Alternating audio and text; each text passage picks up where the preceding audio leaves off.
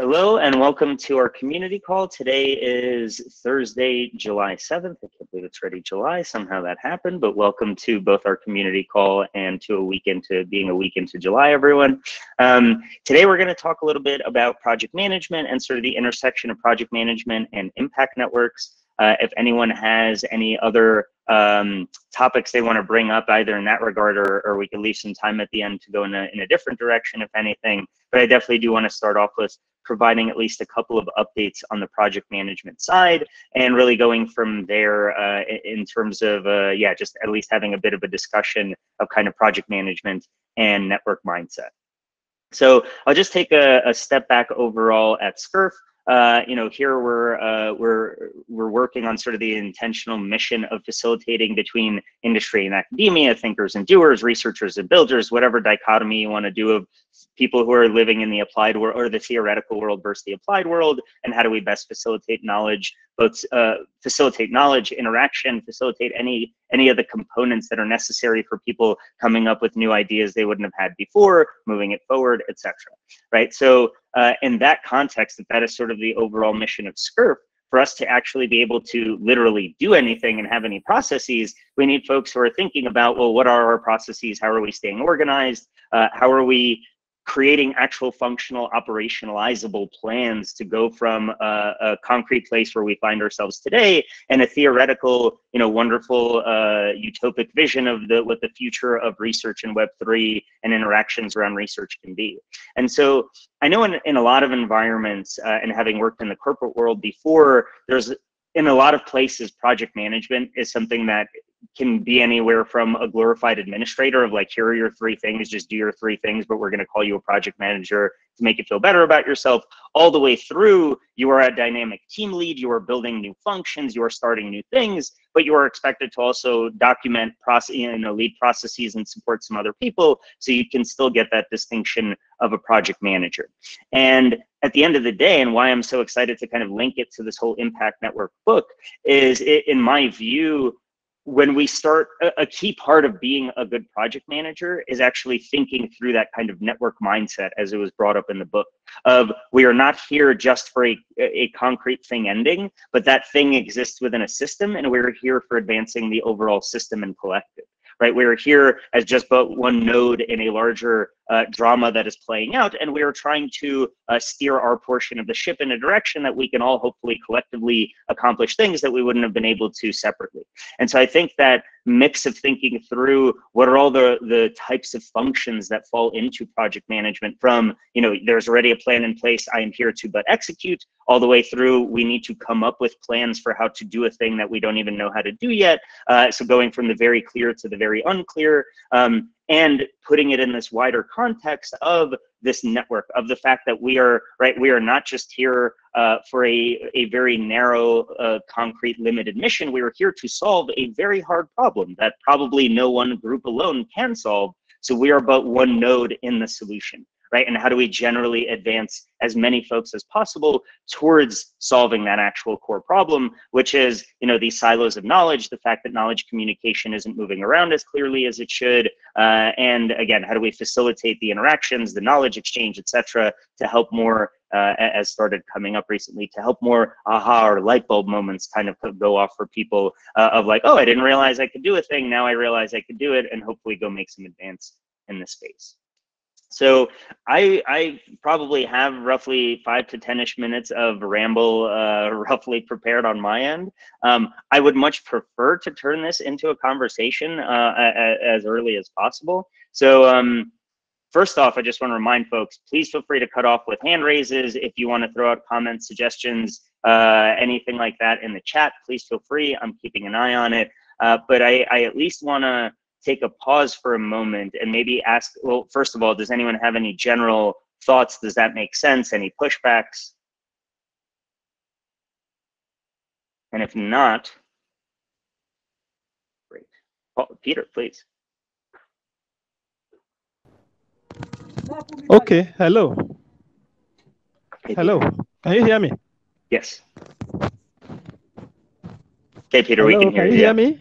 Yeah, we can hear you. Okay, fine, fine, fine. Okay, fine, fine, beautiful. Uh, first of all, I want to appreciate uh, the initiative. Although I could not, uh, where I was last community call, I could not comment. It was a very beautiful presentation uh, last week talking about, you know, linking, networking, and all of that. Uh, but there are some aspects we need to uh, draw some uh, clarification. Uh, talking about project management. Um, um, we already have a, a functional system, so to speak. Uh, if I may ask, are we looking at project management in terms of individual activity or uh, uh, unit activity or project management in terms of individual task? Why I ask this is that it depends on the, the application uh, differ okay, if we are looking at uh, maybe in an agile environment, which we are, uh, what we have is an agile environment, things are coming and it's changing and all that. So we are uh, dynamically adjusting towards it. So I, I want to be sure so that when we have this understanding on the application of this uh, particular um, tools, project management is a tool, we know how we can uh, effectively function and use it. I know uh, I've managed projects before, and uh, in project management, basically we have a tool from Prince2 and the PMI that is uh, popularly uh, uh, known worldwide, apart from this Scrum that is also coming in, which is the Agile form the definition of what we intend to do is sacrosanct before you can apply those uh, form of methodologies. So once we are able to highlight them, then link them together to the actual result we want. And we know that project management is a complete cycle. And once it's done, the project is delivered. Then it's now in production. So those are the things I want us to also uh, put that in our thoughts so that to properly guide us once we go on on this. Thank you. Yeah, thank you for bringing that up, Peter. And I think you're you're bringing up a few important elements of sort of the the overall complexity of what project management fully entails and could be as well. So yeah, I, I appreciate you you you bringing that up. And you know, I think to to your point, uh, you know, we definitely want to have uh, elements that outline, uh, and these are, are still works in progress. So we will share these once these are finalized, right? But we want to have some flow of well, what is the actual life cycle of something and what is actually part of the project management or project proposal process and project execution process, evaluation process, right? There's all these different components and stages of what are we talking about. And I know you mentioned like Scrum or Agile or PMI, or there's a bunch of different frameworks of how to effectively think of, you know, what is the goal of what we're doing? What is the thing that we're trying to accomplish on what timeline with what budget?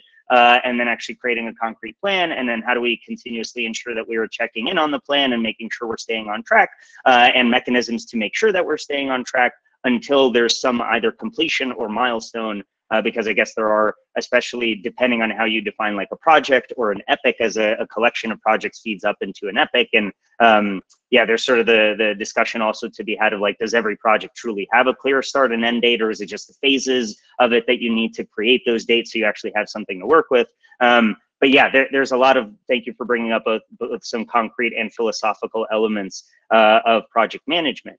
And you know, for us at, at, its core, and especially where it started, it was this idea, uh, and hopefully everyone has seen this. But in case anyone has not seen this, here is uh, our first GitHub uh, board, or I don't remember if chronologically. I'm guessing this was our second. I think the content pipeline was probably the first one. Um, but this is one of our first two boards where we were generally just trying to capture, hey, here are projects going on. And if you click through a bunch of these, uh, and I will just click through some of my own, you will see that there is not always uh, a standard. And this time I did actually use it, but there are other times when we did not use a specific standard. And so, you know, creating templates and now having different kinds of boards in a single view where we can understand what are the projects we're working on, uh, how are we actually tracking and managing them, and having that kind of project level uh, clarity is very important. And on the other side, as you mentioned, Peter, kind of making sure that that is not just happening in isolation of discussions of larger strategy and mission for the organization, but everything from, you know, a super high level multi-year roadmap should integrate into the highest level of project views, which should integrate into the actual functional of like where are people doing work and having all of the different kind of layers of the project clearly articulated and linking back to the overall strategy and mission of the organization. So we are definitely, uh, and thanks to to uh, Tuan and Brian, uh, we are definitely making a lot of strides uh, on the GitHub side, and especially if anyone has worked with the discovery team and seen the discovery board or the doc board, or now I know on the IT, um, I think it's just called the IT board or, or proposal board for IT. But now there's a, a, variety of different, much more nuanced ways that we can actually uh, have useful tooling to just be able to see what is the nature of, of the work that's going on at SCRF. Uh, right, so there is the you know, part of this and what the project management group that that uh, has recently been assembled with, I, I, see at least a few folks here who are part of that and helping out there right? We are actually going through and updating well what is our what is the life cycle of a project as we're defining it at what what is the doc you use to propose it? What is the doc you use to write out the process? What is the doc you use uh, to actually track the work that that's done? And what is done in, in say google docs versus what's done in github? And how do you link between the two? And that way if someone new joins the team how do we expedite uh, a new person's onboarding? Because being able to expedite someone's onboarding and on ramp into a new project is the equivalent of that group being well aware of uh, what's going on and we have everything documented and we kind of have the knowledge landscape around the project in place. Um, so I, I, do see that as a goal of being able to easily onboard people into a new project as a good rule of thumb, even if no one is being planned on getting added to the project, because that's just a high bar of if if you know you're in a place where you can quickly on ramp someone, you've done your docs, you've done your process, you've clarified your mission, like you have all your ducks in a row to be able to accomplish that. So I, in my mind, uh, that's usually a bar I like to try to hit when possible, uh, because that's when you know things have progressed enough that it's a it's a more mature project that is uh, sustainably moving forward and not just kind of being slapped together as a as as we're uh, what is it building the ship as we're flying it or playing that. I don't know many flying ships. Um, but yeah, thank you for for bringing that up, Peter. And I guess I, I would also want to ask, uh, in general, if this kind of intersection of network mindset and project management, especially for us at SCRF, right? I'm not talking about project management objectively in the world. I'm sure project management at a BNY Mellon or a very, I don't know why I chose them, but of a highly centralized traditional organization um, versus any kind of decentralized environment, right? What does it actually mean to be a project manager? And that's where I, I want to come back to uh, within the, uh, the book uh, of Impact Networks, right, where he talked about the different network leadership roles, where there was the catalyzing, the facilitating, the weaving, uh, and then there was a separate bit that also talked about um, you know the, the those seed groups that actually need to be formed to then create the initial momentum and energy for a network to start potentially forming. Um, and all of that in the context of the network mindset again where it's not thinking about individual uh, focus or goal but all of it in the context of the of the much wider collective. For, for me that actually really resonates because uh, right in a much more expanded view of what a project manager does and especially here at SCRF where we are not a massive multi-million person organization with you know whatever uh, we're we're a small lean public good network based organization it's not as though most of us will just have like one style of role to fill in the entire time we are here. And I think this view of right knowing when we become the catalyzer and the leader versus a facilitator versus a weaver versus a coordinator, and especially when reading into the coordinating and some of the other aspects described, right, we need to clearly articulate uh, right our purpose, our, our mission. What are we trying to do? All these other things. So um, from that perspective, I think it's it's it, at least I like thinking of this kind of PM as this very dynamic role in these kind of network environments. But I'll pause there because I see Chris has his virtual hand up, please. Yeah, um, I think in observing the way the organization has evolved, the notion of a single uh, project manager is more centralized than decentralized, which is where I think SCRF has done a good job of uh, distributing the role of a traditional project manager among multiple positions. And I think that's where it, the reason it's been able to evolve uh, is because there are within the organization there are managers and there are project managers, but one person is not responsible for the entire organization's like existence and it's broken down in a way that a traditional organization having a single project manager, um, I think establishes a, like that that person has to have a top down and bottom up view of the organization in a way that nobody else really has to.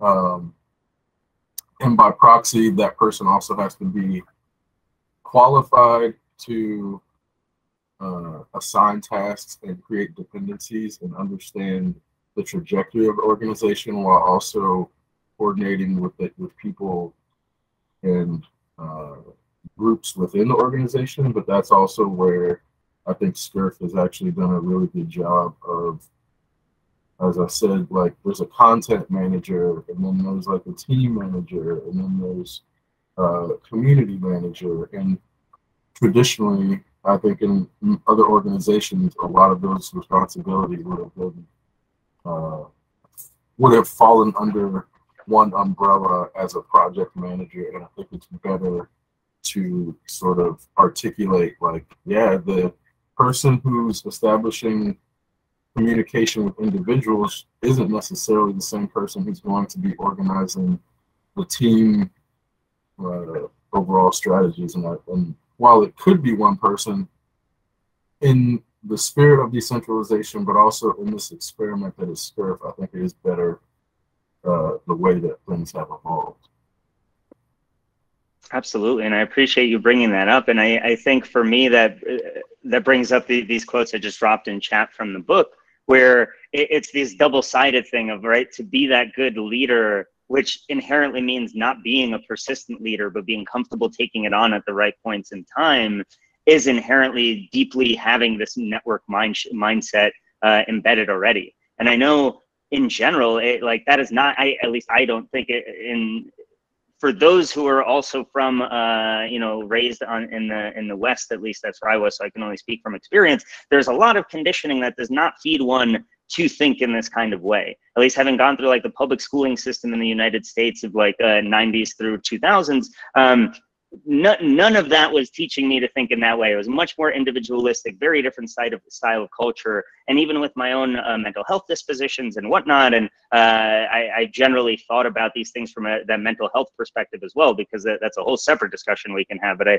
I think that kind of viewing oneself as part of a larger collective is a very healthy thing on, on that side as well. Um, but I, I, I do think that the amount of work that it actually takes to be able to consistently think this way. Because like eh, I, right if we were having a candid discussion that wasn't recorded and i asked everyone here like honestly in the last week how many times have you been asked to do something or a problem presented itself and the thought that naturally came up first in your mind was like well that's not my problem. I don't want to deal with that and like that that's not even meant in any kind of critical way. It's just that the, the landscape of potential responsibility versus the landscape of desired responsibility uh, there's almost always a gap in between those. And especially like our natural wiring and conditioning especially from like an evolutionary biology perspective keeps us centered at the center of our own existence for some very concrete reasons. And so excuse the, the the the ramble but it's sort of what are the things that can get us thinking this way in the first place? Because i would love to see and like this is also just very direct for SCRF right?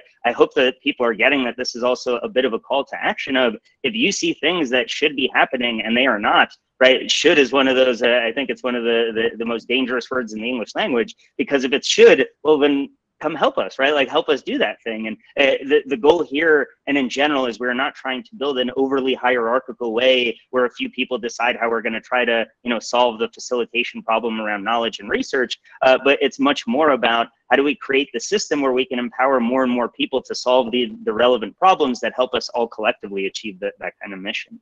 Um, so yeah, sorry, I got I, I, went off on a bit of a tangented road there, but I, I would love to kind of follow up. And I don't know, Chris, if you feel comfortable jumping in, or if anyone else. But what are things that that can help move people in that direction, right? And like, what can we be doing uh, at SCRF to make people feel more comfortable stepping up as leaders in certain areas um, whether from a process and procedure perspective or a culture perspective, right? We might think that we're empowering everyone to do certain things, and then in reality, no one actually feels empowered, and there could be a gap there too. So yeah, just using this as a as a room for for discussion in that direction, if anyone's keen on it.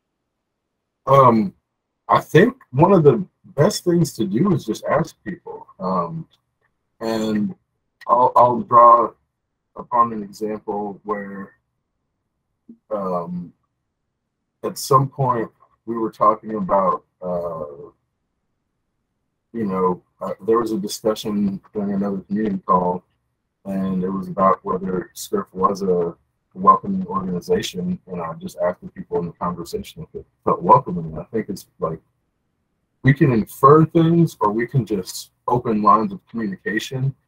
Um, and I think obviously we've been moving towards the communication lines anyway, but uh, the way that we've moved to sort of weave conversation in Discord so that the things that happen in the community calls are being documented in the chat and then they're being posted on Twitter to bring in people in the conversation. Um, I think just having active uh, outreach where we're like inviting people to let us know how they think we're doing or how how they perceive us and continue continuously keeping that line of communication open.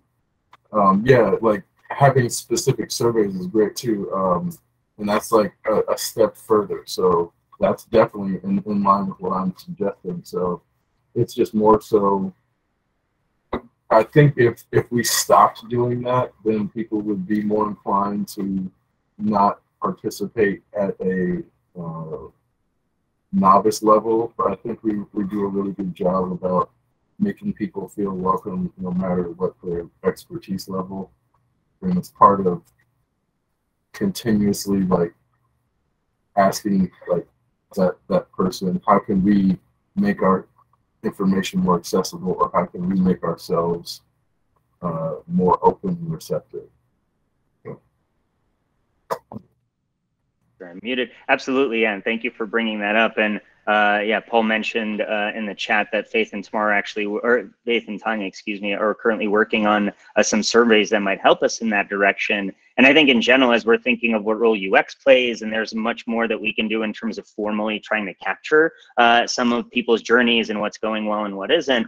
But yeah, the other side of, uh, of what I was hearing you say is also the culture side. And I hope that people feel comfortable approaching folks who you do know here, or if you just get here uh, via Discord and, and meet someone new uh, and get to hopefully you feel comfortable asking them those kinds of questions. And I understand that a recorded public conversation is not the place to uh, solicit feedback in the most comfortable manner. Uh, though if anyone does want to give any public feedback, please, you are more than welcome to. Um, but yeah, hopefully as a, as a result of this in general, uh, we do want to figure out more ways that we can best learn from folks in how we can improve. So uh, yeah, that, that is a general call to action right in this context of project management, network leadership, net network mindset, if you see things that you think we could be doing better, like please come be part of helping SCRF become its best version of itself and reach out to any of the core folks on our team uh, and uh, or just hop in our Discord and we're, we're always more than happy to, to chat about it.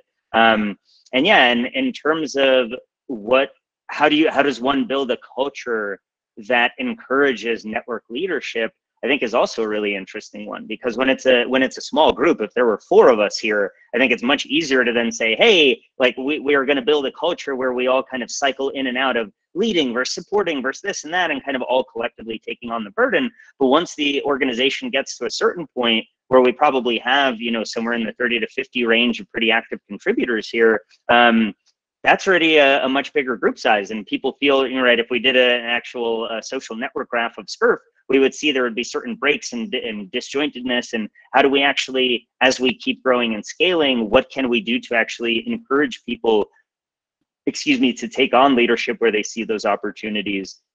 And to deeply embed that as part of our culture here to the point when people just get here what's the soonest they can get that that's the gist right? Because if you didn't get invited here, if no one held your hand into SCRF and you just showed up because you, you were Googling or whatever, um, how do we actually make that clear to new folks? And beyond these community calls and actual live interaction points, um, I'm not asking this question as just conversation fodder. Like I, it is a very unclear question. I, I would love to brainstorm more. And I see uh, Chris has his hand up, so I'll, I'll pause there. Yeah, I, I had a discussion with uh, an administrator at a, an educational institution yesterday. And he asked a similar question, and I actually drew upon our recent reading group as a, a method of establishing that type of uh, common framework in a language that allows the people within the organization to get on the same page to then move forward. Because, and I also suggested him the impact networks specifically, but I think as an exercise, having everyone read the same material and then discuss it was a way that it builds a cultural uh, net that keeps the conversation at a level and never allows the conversation to fall fall below it, but then allows the conversation to go somewhere further than if we had not come together and read the same material, got on the same page about the lexicon, and then had a discussion about how we can apply that to the organization. So whether it's like once a quarter or what, I do think it was like extremely useful as an organization to like take uh, some educational material about networks and organizations, read it, and then mm-hmm. figure out how we can apply it to our organization. And that was like that exercise is something I've never really seen done anywhere else. But having now gone through it as an organization, I think that's something that could be like a regular practice that we do. For sure, and I, I very much, uh, at least, right, because I think uh, the role that reading groups can play at SCRF is its own big question because there's multiple types, and you know, is it around research, is it around the network and how to SCRF better, or uh, around fun, or just like social and let's read fiction and just uh, and just build bonds together kind of stuff. Um, so yeah, there, there's all different kind of directions. That actually reminds me of something I just forgot to plug, and the community should be aware of because why not? Um, is um, so Protocol Labs, DeSci Labs, and SCRF are coming together. We're we're more supporting. We're not actively running it in any kind of way as of yet. We're really more just supporting Protocol Labs and DeSci Labs as they co-run uh, sort of an open science, meta research, how to do research better kind of reading group. Uh, so I will uh, figure out, I actually don't remember, Paul, if they sent us the public info for that, but we will figure out what is the right version to share within our community, uh, just so that in case anyone is interested, they, they can be aware of that. Um, but anyway, coming back to what you were mentioning, so yeah, I, I do really want to continue with more readings along those lines. Uh, I know I just uh, finished the, um, the Idea Factory, which is the, the book on Bell Labs and like their innovation environment. Uh, and that's an interesting candidate. I've also been thinking about what are sort of the, the personal side that we can cover uh, without potentially getting too heavy. One of my favorite books on that side is Man's Search for Meaning that that might be a, a heavier book as a collective to read. Um, so yeah, we, we can figure out balance. If anyone has concrete ideas from the system perspective, from the personal development as it pertains to system, like please let me know. A, I just love that kind of content generally. Um, I know I listened to a podcast series last night on the evolution of DARPA and their role in innovation and military and innovation in tech and whatnot. So uh, very open to that. It doesn't just need to be books because I get that if it's podcasts or articles, we could potentially do these more frequently. But um, at least for now, I, I will keep throwing out a few of these ideas um, as I have bandwidth to.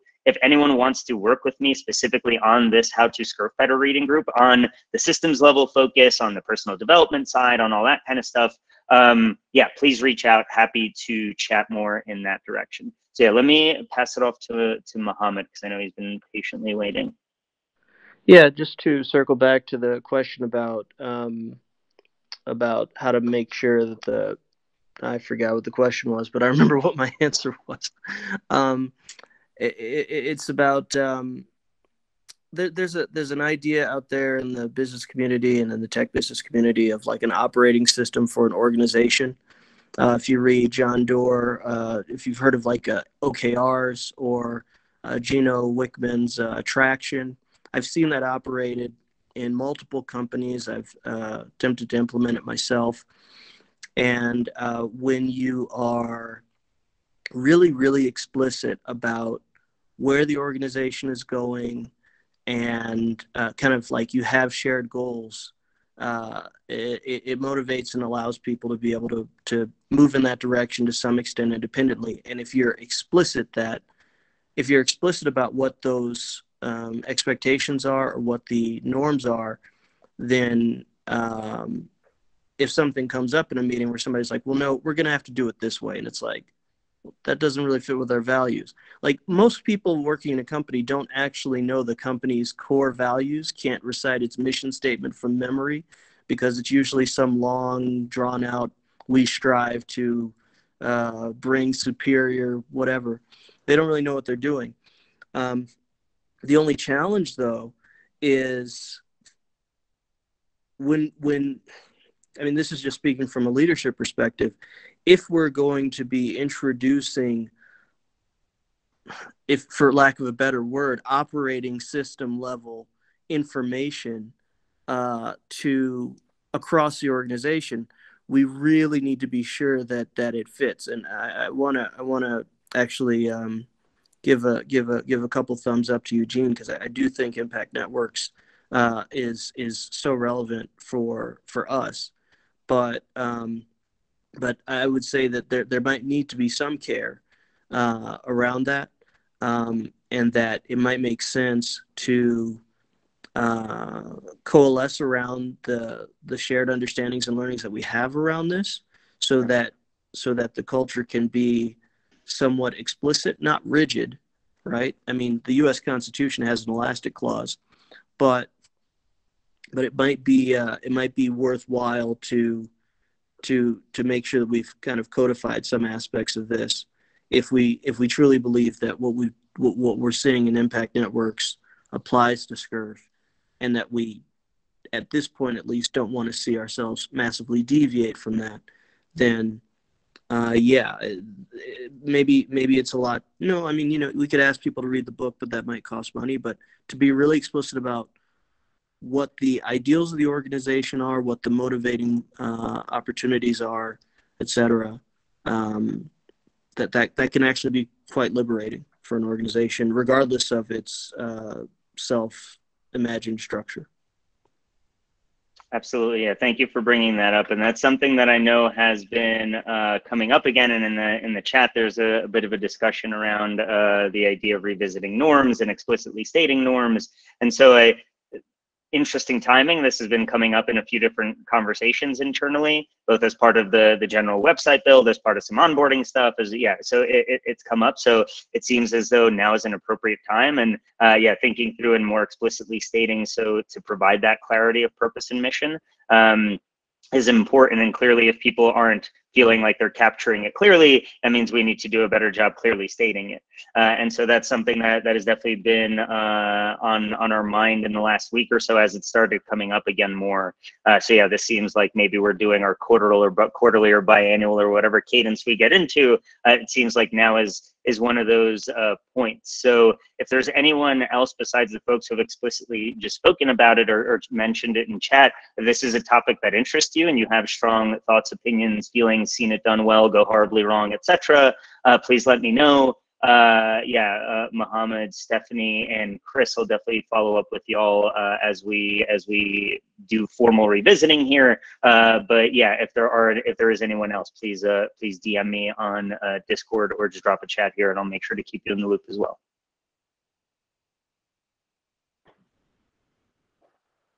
Yeah, and I, I think going back to um, you know another book that that's been mentioned to me many times and one that's been on my to read list for to read list for probably uh, longer than I would care to admit, but is Thinking in Systems by Dan- Donella Meadows. Uh, I know that one, and again, in like in thinking from that systems perspective, but I haven't read it yet, so I, I want to read it first to see sort of how much overlap is there potentially with impact networks, and I, I don't want us digging like too deep on just you know a step away from each other materials. I'd rather we take kind of like big leaps and bounce around uh, and get exposed to very different ideas and then bring it all back um, together. Uh, so yeah, I have some other thoughts. And again, if anyone does uh, have any desire to like help think some of this through, obviously the desired future state is we would have community voting mechanisms, etc. Um, given the amount of new things that are starting to prop up, I'm, I'm worried that we're spreading our community attention a little thin at the moment. So I don't want to introduce too many asks of community running things at the same time.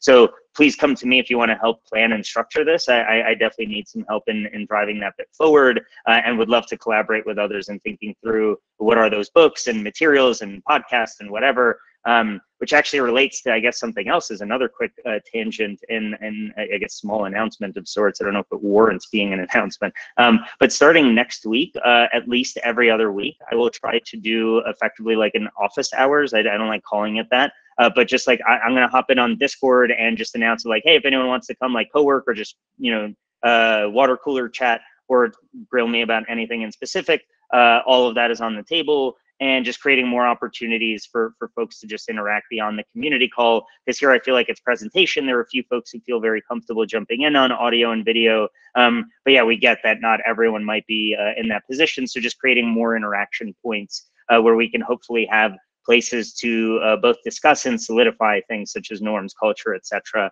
Uh, and yeah, just get get more bonded with each other. Um, so yeah, uh, look out for that uh, next week. Um, but yeah, I realize we've we've taken a, a couple of awesome tangents. I guess before we before I pull it back uh, towards that intersection of network mindset and project management, uh, is there anything else? Um, yeah, around kind of the norms, around the reading groups, around uh, just the systems level of what is the mindset necessary uh, for operating in that kind of environment. Anything in those directions before I, I pivot us back. And conversely, if there's just you want to take it in a different re- uh, direction relating to networks and SCRF, uh, super open to that as well. Goal here is just to have a, a, conversation around networks, what we're doing at SCRF, and how we can best improve. So happy to uh, to drive that elsewhere if that gets folks excited. In the meantime, though, coming back to uh, the network mindset bit uh, and and and project management, and I think it's interesting discussing some of the elements that that that had just come up because I know uh, I don't know if Eric is with us on this call today, uh, but one thing I know I, have noticed in kind of the environment that he comes from and, and Esh as well. I don't uh, I don't know if everyone's had a chance to, to meet them or work with them yet, um, but they are very big even at the project level of whenever you're starting project documentation, actually highlighting what is the north star of the project uh, which you know needs alignment to a larger kind of a north star for the organization and, and vision, mission, etc. for the organization. So uh, it's interesting just to think through some of these elements that are coming up, and which on the surface something I could see how project management, mission, vision, culture, norms can seem like very uh, separate topics, but in reality are all very intimately related and deeply affect the actual operations uh, and day-to-day lived culture of an organization. Um, I guess a, a, general question that slightly strays away uh, away from the network side and more just on the mindset side of things. Have folks found good examples either through in your own life, word of mouth, uh, learned about it elsewhere, but again, just with actual things that help people think in more of that network mindset? Um, yeah, just uh, helping to reframe uh, mindset around being more focused on the individual nodes to the overall system. Has anyone found anything uh, that that particularly spoke to them? Uh, while folks think I'll, I'll, just answer a bit on my end, I know. Uh, oh, actually, there's someone already, so I will let Chris jump in. Yeah, um, one of the the metaphors that's used is that hub and spoke in the wheel, and I I had heard that metaphor uh, for communities through uh, martial arts Tai Chi training as like Taoism would represent like the individual is just a spoke within a hub of a wheel that has many spokes. So you have to have all of the spokes for the wheel to roll, but the individual spokes are necessary, but it's the many spokes that make the wheel functional. So I think it was like the hub and spoke metaphor. I'm not sure where he he drew it from, but I've seen it, like I said, in uh, my martial arts research that they also teach you about like the history of Taoism and the process. Like that metaphor is like one that's very prevalent and it's easy, it's easy to remember because of the way a wheel works. Um, so I think that specific example is one that it like instantly drew me back to that that Taoist like representation of that concept. But also it's like I think if people struggle to understand how the networks operate together. The hub and spokes are it's like a very clear like if you know how a wheel works and how it supports a vehicle, it's like it, it becomes very clear how then a hub and spoke as a network would help move progress forward. Yeah, it's interesting to think how sports, martial arts, uh, and yeah, various kind of uh, communal group activities, which is interesting because martial arts, uh, a lot of the time, especially from folks who haven't gone through it, it can seem like it's much more individualistic. So how does that actually fit into the hub and spoke? Where, where in reality, it is, it is very deeply part of the philosophy there. Um, but yeah, thank you for for bringing that up. Uh, Fotis, I see you got your virtual hand up. Please jump in. Yeah, so I have probably thousands of resources to share in terms of that because my own background, which is very idiosyncratic, uh, uh, in cognitive science uh, was from a very, very, very um, on unorthodox perspective because in cognitive science it is very neurocentric. It is uh, usually like the idea of the psychological subject which is an individual, which is unified and uh, which exists on its own, is what is like what is called the Cartesian subject in uh, both in uh, cognitive science and in the history of philosophy that actually informed this um, um, its basic notions. Um, it's very, it's very. Um, there's a history that is hard to um, uh, I cannot find words today. The heat is uh, getting to me. Yeah, uh, basically, it's hard to get over these notions. And there is a, um, a movement right now in contemporary uh, cognitive science that deals with social cognition and, and found out that, uh, wait, to actually do research on social cognition, we have to uh, start from a very different theoretical framework. uh, for example, there's uh, some very nice research on social neuroscience, which you wouldn't expect like these two words to match, to, to, to find them uh, together. Um, that shows that actually the default neural activity uh, of people who are interacting together is fundamentally different from when they are alone. And uh, when they are uh, doing the same task alone and in groups, it also changes. And there's no way to induce this activity uh, in any way when the, in, when somebody is um, doing the task alone. So there's something uh, that comes up in a social um, situation that is not only different from a from um, from a behavioral point of view, but it's also different from the whole um, from the inside out, let's say. Um, and that shocked me. Uh, but there's like an enormous amount of literature concerning that, and there's a whole um, approach which is called enactivism, which I don't know how many people here might have heard of uh, and are familiar with. And I'd be happy to do a primer or to uh, get people uh, up to date with what's happening, which is which is it's very interesting, especially the notions of intersubjectivity and participatory sense making, uh, which are starting to make uh, uh, their uh, presence felt in contemporary literature in cognitive science. Yeah, thank you for for bringing that up and bringing it to to the neuroscience dimension. Yeah, I would definitely be happy to chat about, excuse me, enactivism and just generally go down that rabbit hole. Uh, either we could do a separate breakout for anyone who particularly wants to, or we could uh, take over a future community call if there's wide enough interest in something like that. But I mean, it's an interesting thing that I've even been thinking through on like a deeply personal level. Whereas uh, especially with like bouncing around and traveling in the last year, I've spent a lot more time in solitude uh, as opposed to in, in like organized community and organize them using loosely of just like family, friends, whatever, you know, whatever structures are in place in, uh, in specific environments.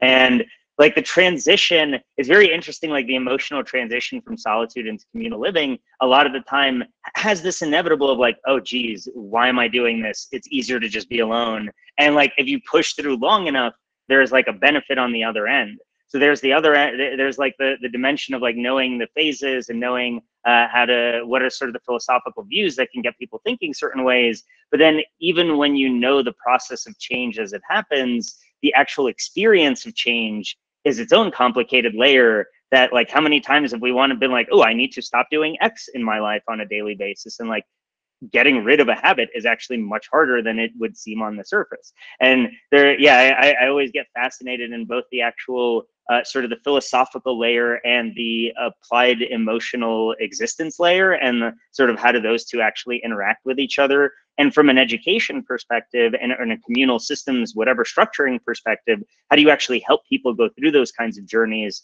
and want to? Um, and I, I, even remember, as a small example, I just remember hearing a podcast uh, right after I got Lyme disease, and it was two people talking about uh, like, oh, we went through all this personal growth and all this change, and we went down this journey. And it's like at the end of a hour, hour and a half long conversation, they were both like, oh, what started it for for each one of you? And it happened to be uh, like uh, experiencing your own mortality due to Lyme disease for both of them started this journey, which obviously when I heard it when I was going through that myself was a very interesting experience interacting with. But yeah, there, there's still the I'm getting dangerously close to just rambling at this point, but like the, the, the personal side of actual change is something that absolutely fascinates me. Uh, especially my, I grew up with psychotherapists and uh, have seen a lot of examples of like the desired stated intention of change and then it doesn't happen and like it's happened so many times in my own life and how do we systematically help people accomplish change? And there's so many schools of thought from the purely philosophical to like dealing with addiction dealing with all kinds of other areas and like all these various schools of thought but like there is no just a to z here's you know follow these instructions and and and things just, and you know, like you're in a network mindset or you're thinking as part of a collective or you know how to effectively and consistently make habit change happen uh, with no regression in process um, yeah it's a it's a very interesting uh, fusion of kind of topics and, and challenge types but I, I feel like I, I, got myself excited based on hearing some of what you said and might have went down a rabbit hole that no one else cares about. Um, but yeah, I realize we are getting towards the general back end of, uh, of today's conversation. So I do want to leave it open for another moment or two to see if anyone else has anything they want to talk about in this direction. Otherwise, I do just want to give a quick um, update on a, a, project relating to network mapping that seems like it's slowly coming together, uh, and just to yeah, flow that uh, throw that out there and, and get some reactions quickly.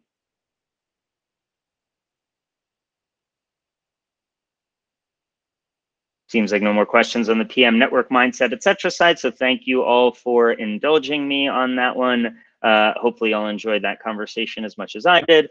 Um, but yeah, so one thing I did want to quickly announce is we actually just got approved uh, to do a capstone project with Carnegie Mellon, uh, Carnegie Mellon University, uh, and the the capstone project is going to be focused on um, network mapping and establishing effectively uh, trying to build an open database using uh, focusing on pointers, not actually like housing the end material, but to create a database of pointers around research that's relevant to Web3. Pretty much since this since the Satoshi paper came out in uh, in October 31st, uh, 20, 2008. Um, and so since that amount of time, get a full scrape of the general knowledge index, which is I think like a 20 petabyte, 40 petabyte data set of a massive amount of research, as well as Google Scholar API, use those as the basis of just scraping uh, a lot of publicly available data uh, in terms of research, start categorizing it and actually forming it um, with the intention uh, so that we can actually then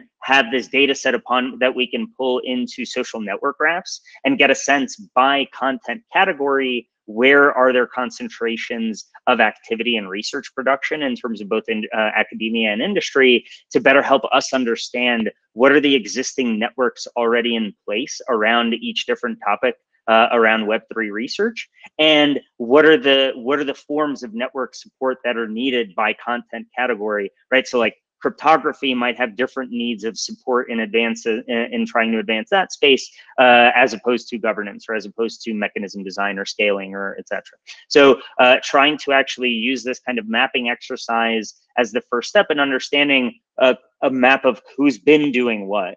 Uh, and then separately, there there have been some exercises uh, both internally at SCRF, and I don't know if uh, anyone saw Daniel Ospina post uh, a couple weeks back, but the idea of actually mapping excuse me, mapping um, problems from industry uh, and pull uh, problem statements from folks in industry. And so we have a list of who's doing what, uh, or a map of who's doing what. We have a map of problems. Then we can actually, again, coming back to the how do we best uh, think about network support, what's missing and what can we add, and what, what, what is the very concrete role SCRF can play to advance very narrow areas. Um, that's where I, I'm really excited to see what we can do once we have this kind of mapping in place. Uh, and then separately, we have some folks who, uh, between governance and between cryptography, have been taking a stab at more uh, bottom-up mapping of sort of what are the actual interaction types, what's happening in the space right now, where are the active communities, uh, and something that you know just a huge data exercise would not be able to give you insight in. Uh, and then someone else has been kind of doing some mapping on cryptography education uh, and what those pathways can actually look like as well. So I'm, I'm really excited. We'll, we'll present in future calls on some of these other things. Um, but yeah, just wanted to let the community know. Uh, I was just very excited to see that we got that project approved at uh, at CMU with this capstone. So if there is anyone here who is also particularly interested in network mapping, social network graphs, all of that kind of fun stuff, uh, let me know because uh, we're still building out what the, the project team will look like from our side. Uh, and we'll have four to six students from the CMU side, but we'll only get clarity on that in about a month's time or so. Um, so yeah, that was an update there. If anyone has any questions, let me know. The last thing that I will mention for today is community calls going forward. Um, so I did want to just quickly um, talk about the community calls going forward.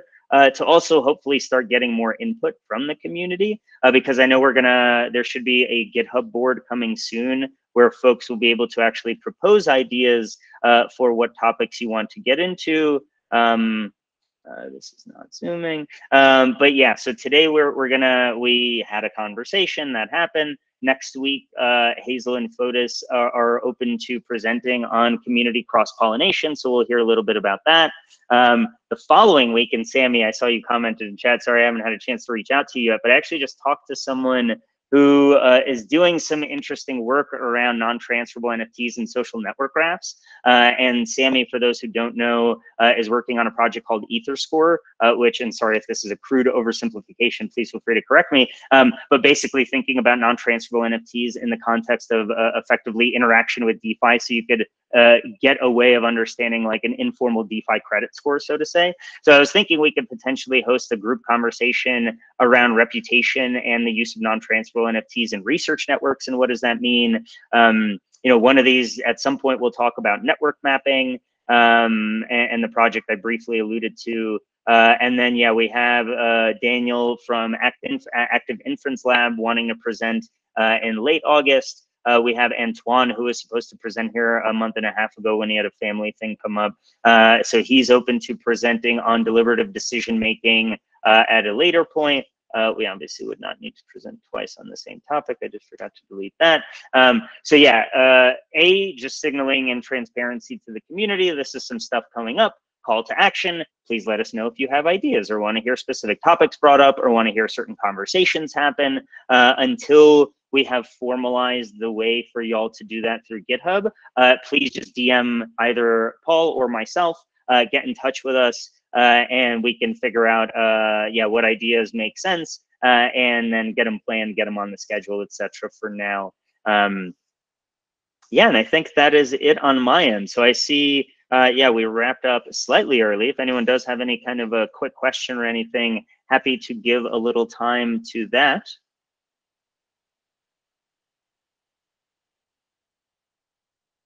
And if there are no other questions or anything for now, I'll hang out till we hit the hour. Uh, but we can wrap a minute, minute and a half early. And give back some time to everyone. And yeah, I just want to say thank you. Really appreciate you choosing to spend uh, part of your Thursday with us here. And yeah, please feel free to reach out if uh, anything in particular from uh, the reading group to the network mapping uh, to community calls to helping us with mission vision or any of these other things. If any of these things sound exciting to you, uh, please reach out uh, directly and, and we'll figure out how to get you best plugged in as we kind of formalize those, uh, those projects.